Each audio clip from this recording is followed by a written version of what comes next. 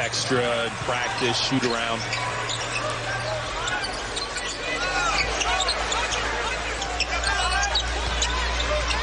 Valanciunas at the high post. There's Jordan Hawkins. Moody trailed him, and he made it anyway. Shot clock down to three. Andrew from the baseline. You can see the Pelicans forcing very difficult shots.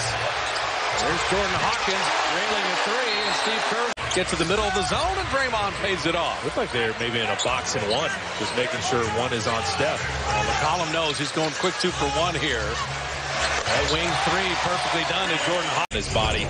That could be a movie title for Fast and Furious 12. Baseline drive, baseline drift.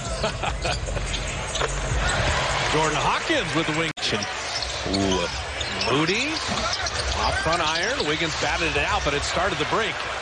Hawkins flying in to finish. He's athletic. Wembanyama is like the biggest, most athletic wing. I mean, in the crazy, like, Durant mode. Hey, let him be confident, though. Hawkins dropping that in.